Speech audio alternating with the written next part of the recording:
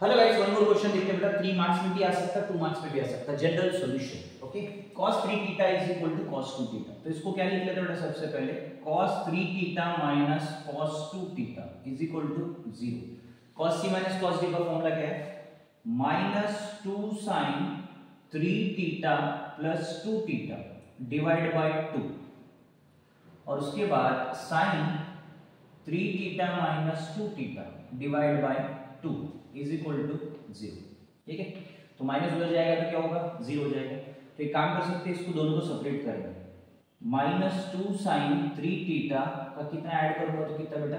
Five theta by two into sine theta by two is equal to zero तो minus two sine five theta by two is equal to कितना?